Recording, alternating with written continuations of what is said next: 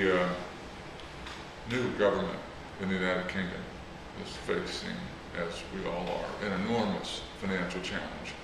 Um, and they have taken an interesting approach, something they call the big society, uh, which is sort of a devolution to citizens, uh, much like community policing, except it's civic engagement on a broad scale, using the government to sort of lead and organize and uh, provide data and support to citizens as they do the work um, in the neighborhoods and in the community that needs to be done. And as I sat and listened in this morning's City That Works session to the folks talking about animal control, code enforcement, uh, liquor control, and so on, it sounded to me like our city staff are using this same sort of strategy in a very positive way. For example, working with uh, the Ivanhoe neighborhood, Blue Hills neighborhood, and so forth, to pay them to maintain the lots in their neighborhoods.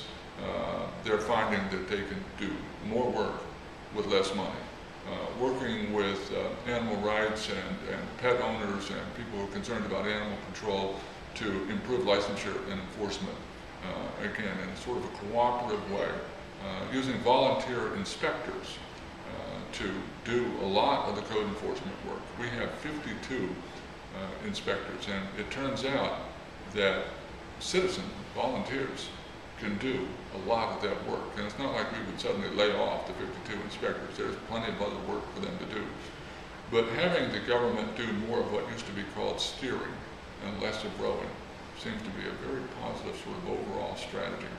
It's working in the UK, and I think it can work in Kansas City.